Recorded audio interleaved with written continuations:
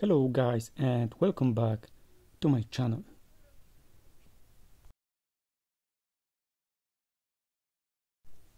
In today's video I'm going to shoot a night photography and the setup I'm going to use is a Stroboss uh, 36.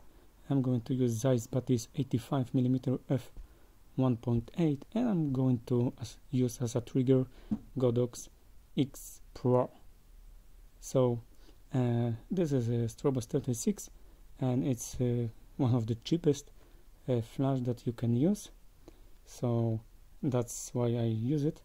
Uh, this is also Godox X, X Pro. It's also some kind of uh, budget setup.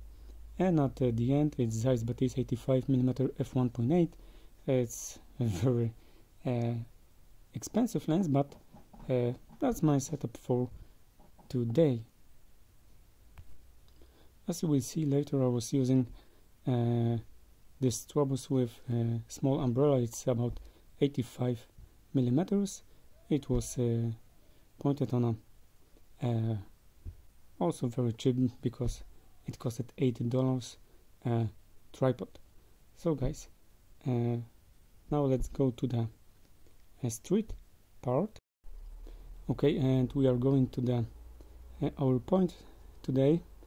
And we are going to a city center. It's a very small uh, city so I think that there is not uh, too much interesting thing inside but we will try to find something interesting. So uh, here's what I've got. I've got one umbrella as you can see. It's on a tripod and we've got another uh, LED RGB uh, light in the background. And it was uh, Godox M1 RGB uh, light. I will show you a product in here. And in general I was going to use this uh, umbrella as a key light. And I was uh, pointing this small RGB LED light on the side or uh, in the background. And I was using mostly red light sometimes uh, like here you can see some purple light and I was using also a yellow light uh, from the backside. So this is my model Miss Laura in here okay? And we were, we were shooting something in here.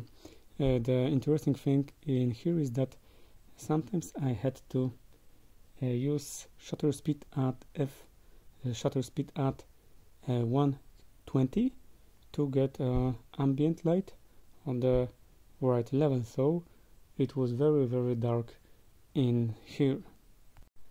Uh, the hard part was also that uh, I was a little bit disappointed because uh, the battery which I was using in this uh, Quadralite uh, flashlight was only able to handle about 60 shots. So it was very very small but I was uh, asking in the forum is it uh, normal or not? But uh, a lot of guys say that it has a battery so I need to get some better batteries in here. Here we've got a little bit of setup and now we are on the second location. We are also trying to get something in here and now guys just look this uh, effects what we've got thank you oh, one mile in fog patches and showers early Friday, but improving to greater than six miles on Friday morning.